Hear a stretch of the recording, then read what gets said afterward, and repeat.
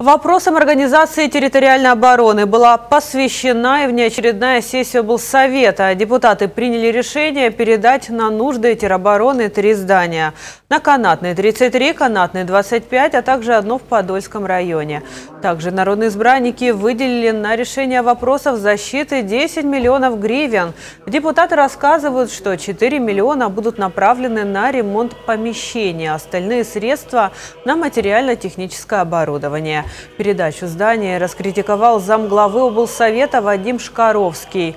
Он отметил, что помещения на канатной плохо приспособлены для нужд штаба, так как территории и количество помещений очень маленькие. Воно практично не приспособлене ці місця для того, щоб там розмістити військові частини.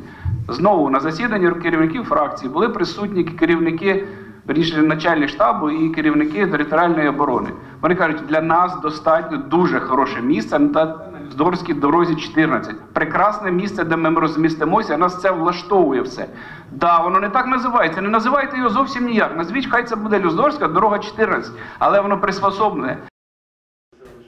Глава Одесской облгосадминистрации Сергей Гриневецкий отметил, что на этот период нужно создать штабы мирного периода, особого периода, а также добровольные группы. В них могут вступить все желающие возрастом от 18 до 60 лет. Добровольчі формування можуть бути створені у невеликих населених пунктах для виконання допоміжних функцій, охорони, спостереження тощо. Вони виконуватимуть завдання відповідно військовим керівникам Сил територіальної оборони.